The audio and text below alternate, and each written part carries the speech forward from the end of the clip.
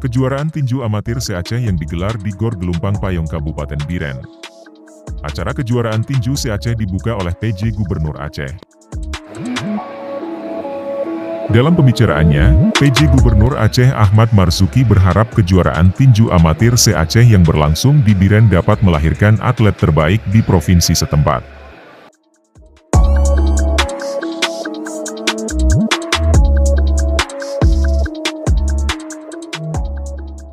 Kita berharap lewat kegiatan ini akan lahir kesatria baru di atas ring yang nantinya akan ikut serta pada Pekan Olahraga Nasional, PON, 2024 Aceh dan Sumatera Utara, kata Ahmad Marzuki di Biren, Senin malam.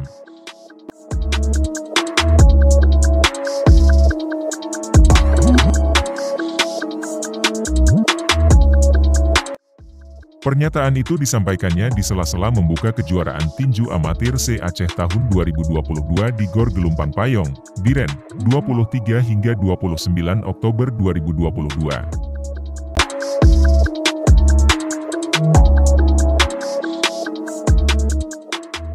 Ia menjelaskan kegiatan serupa nantinya akan digelar di Banda Aceh dan tempat lainnya sehingga akan lahir atlet-atlet terbaik untuk mewakili Aceh dalam berbagai tingkatan. Anggota Komisi 5 DPR Aceh, Purnama Setia Budi mengatakan kejuaraan tinju amatir se-Aceh tersebut bertujuan mencari atlet terbaik di cabang olahraga tersebut dari 23 kabupaten kota.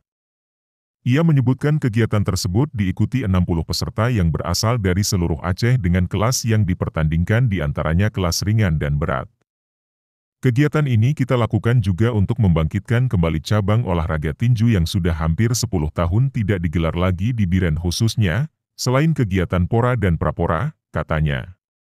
Pihaknya berharap kegiatan yang diikuti sangat antusias oleh peserta dan disambut positif masyarakat dapat melahirkan atlet terbaik untuk mewakili Aceh.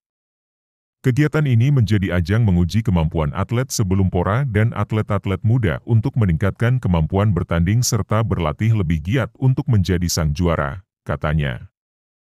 Menurut dia para pemenang selain akan mendapat uang pembinaan, tropi dan juga akan mendapatkan sertifikat. Dalam pembukaan tersebut turut hadir di antaranya Ketua DPR Aceh, Saiful Bahri, PJ Bupati Biren Aulia Sofian dan unsur Forkopimda setempat.